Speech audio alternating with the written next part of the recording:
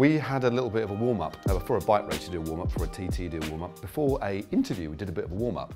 Um, and I asked you randomly if you played a guitar, and I hoped that we had one lying around, but we don't. But you're quite a musical fellow, aren't you?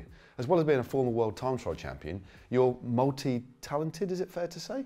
No, I wouldn't say I'm multi-talented, No? but I was uh, growing up with a mother who, uh, and also a father that was quite uh, musical. Okay. So I went to the boys' uh, choir when I was uh, when I was younger. Cool.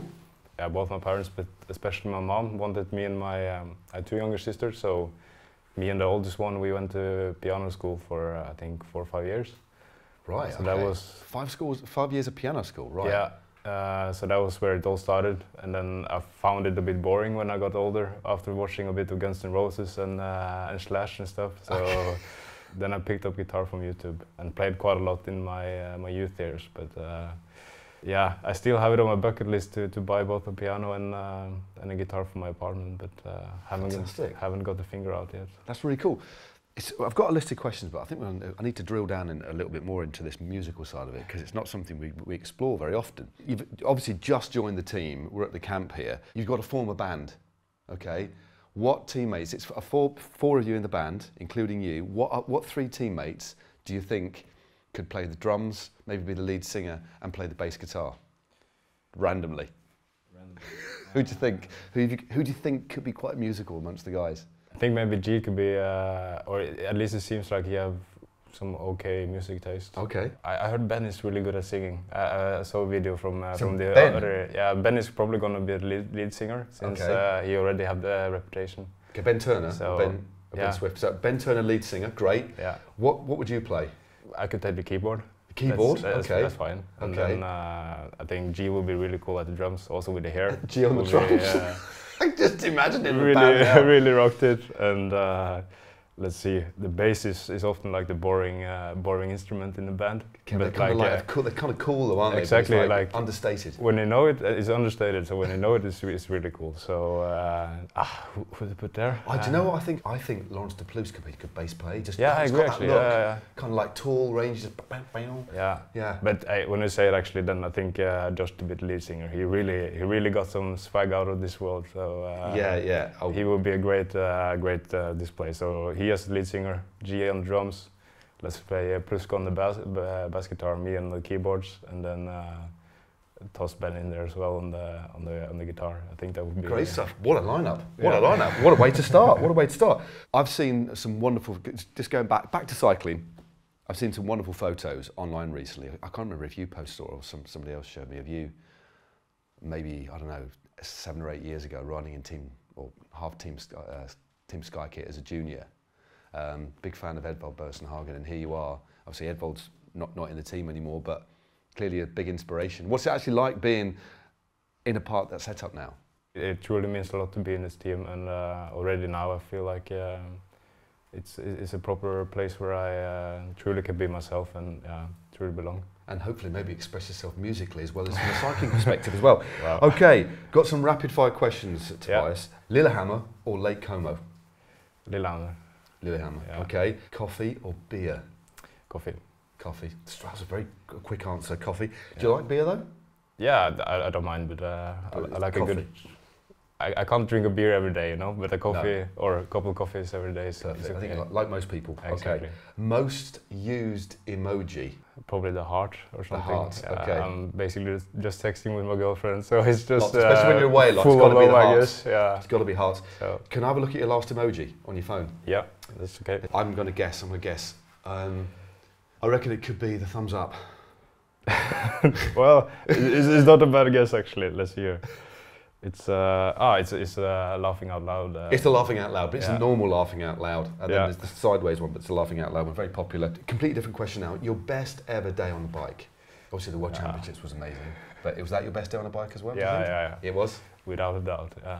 Everything went right, didn't it? Yeah, you know, like I was just going into it so calm. Uh, didn't think about the result at all. We made a good plan on forehand, and we were 100% focused on the execution. So, and yeah, of course, the body and the physical side were just something I haven't experienced uh, before that. So it was, uh, you know, like it just a big moment where you can feel like something special is going on. And, Even during the uh, ride, did you feel Yeah. Did you feel that? You know that you were kind of floating.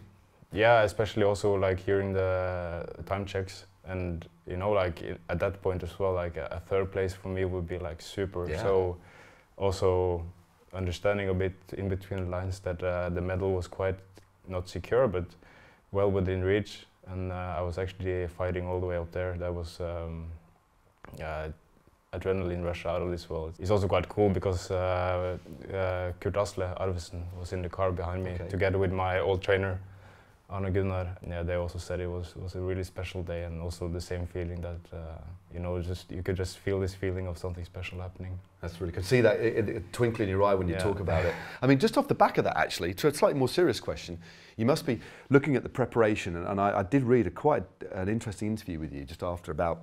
We know, we, we know how technical that course was. It wasn't easy to sustain a rhythm. There was constantly stop-start accelerations, and you you timed that perfectly because you've already had a top ten in the Giro and stuff. Like people don't often talk about that, do they? they you know, it's it's just like you know, you you're a rider that must have GC aspirations there as well. Must be something that you want to you want to do. No, exactly. I think uh, I think that's also the way to go. To yeah, I just want to improve myself so I can be like sustainable up up in the best mix there, and then start with the week races, and then kind of already prove my, uh, prove to myself I can uh, can do a top ten in the Grand Tour. So yeah, if I'm gonna aim for a Grand Tour again, I want to be good enough for for the podium or for the top five. Back to the random questions. Okay, you've been given the keys to a grenadier for the day. Okay, but you can go anywhere in the world. Where are you going to take it? Uh, definitely back home. Uh, Okay. In the winter, hopefully like uh, half half a meter of uh, powder snow, and really put the car to the test. Okay. Out like on the country road or like a tractor road or something. Like What particular part of, of Norway is it? Where where where are, where, where are you from exactly? I was from the from the east side or like uh, east side of Norway, so uh, about two hours uh, northeast of uh, no uh, northwest of, of Oslo. Okay. So um, kind of up in a valley. So uh, around there as well is is quite Beautiful. it's quite cool to drive a car like that. I think. Yeah, just oh, sounds fantastic. If you could pick one of your teammates, one in your grenadier, to become a winter athlete, who do you think it would be?